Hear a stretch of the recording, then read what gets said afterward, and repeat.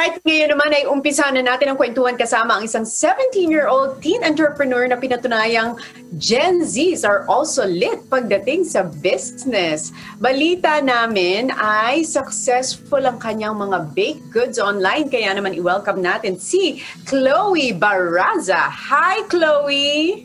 Magandang araw po Miss Tony and mga kapamilya. Hello! Paano ka nag-start dito sa baking uh, business na to? Do you really bake na before pa? Bago Actually, uh, um, ever since I was a kid, uh, I was really into baking na po. And my mom was actually the one who introduced me into the baking world. So, siya yung nag-turo uh, sa akin ng basics of baking. And I was able to take baking classes din po when, um, when I was a kid, I watched YouTube videos, and most of the things that I applied in ba- um, baking, I was able to learn techniques online in YouTube videos. I started with uh, using box cake mix and really developed by trying different recipes online. And, uh, start ka muna yung sa mga ready mix. Yes po. Oo, kasi naalala ko nung nag-start din kami mag-bake ni Alex nung mga bata-bata pa kami. Ganun lang muna talaga eh, no? Tapos hanggang sa nakaka-fascinate pagkita mo paglabas ng oven na cupcake na siya, brownie na siya, hanggang sa may excite ka na, paano kaya kung step by step kung gawin lahat? Hindi yung ready mix. So doon nag-start muna. Tapos, paano ka nagkaroon ng idea na gusto kong gawing business ito ngayong time ng pandemic? Um, my parents was actually the one who asked me about it. Kasi uh, last year, I wasn't really doing anything. So during uh, my Christmas break, my parents thought of the idea of why not sell the things that I was making. So it came to the point na I really tried to start selling the things that I bake and I just wanted to feel how to manage a business lalo na my parents are in the business industry. Ah, so entrepreneurs na talaga ang parents mo? Yes po. Ah, okay. Kaya parang medyo uh, meron ka ng guide kung paano gawin itong uh, online business mo. No? Anong bestseller mo?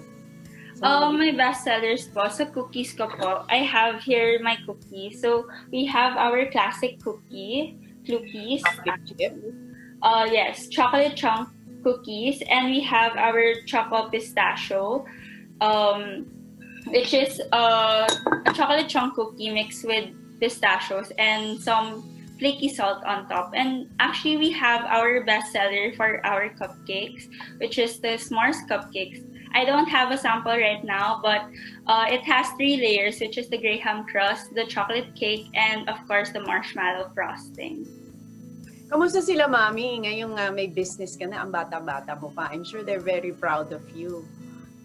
Uh, yes po. They're really um, happy naman po na I'm doing this despite the pandemic. Lalo na right now, parang um, during pandemic naman, wala naman masyadong ginagawa yung mga kids right now. Kung meron kang gustong i-share sa ibang mga kabataan na nanonood ngayon, ano ang gusto mong sabihin sa kanila?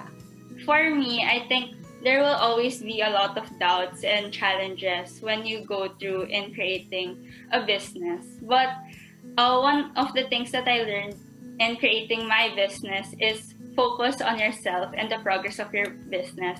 Because there will be times na masistress ka talaga or there will be days na you would compare your progress of your business to the progress of uh, other businesses. And what matters the most is your business and yourself. So, um, what we should do is never give up and always look on the brighter side because these experiences that we'll be having are where we will be learning the most. Nax, nice. Ang ganda naman nun.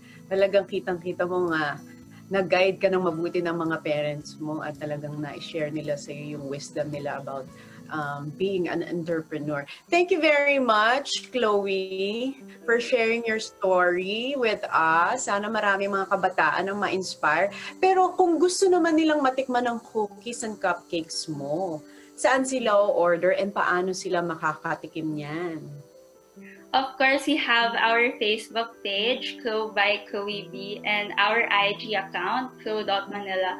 Of, um, we have our family business also, Baby First Dash Erdi on Facebook and Baby First Erdi on IG. Thank you, Chloe. Sana ma-inspire lahat ng mga kabataan na nanonood sa atin to pursue their passion. I think now is the best time hindi ba? Because you're very young, you have nothing to lose.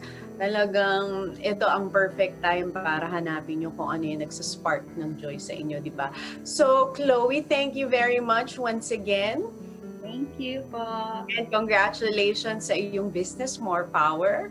I feel you